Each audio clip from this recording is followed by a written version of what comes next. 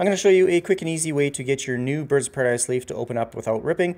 The last leaf here is absolutely massive, so I'm looking forward to this newest one. This brown line here is actually the edge of the leaf, and it's held together by a crusty film while the leaf is growing. So I like to take a warm, damp cloth and just rub it along that brown line. This just helps loosen up that uh, film, allowing the leaf to open up without ripping. That's what causes the leaf to rip is when the film doesn't fully, uh, I guess, be removed and it just kind of sticks together. You can see this kind of goopy material on the leaf. That is the film. Um, I just like to pull it off. It's kind of gross.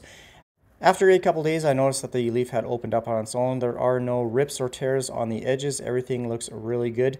The leaf is absolutely massive and it's uh, still just unfurling here, so I'll let it uh, do its thing and check on it in a couple days. It did rip at the top here a little bit, but that's okay. Otherwise, that is the trick, so thanks for watching. See ya.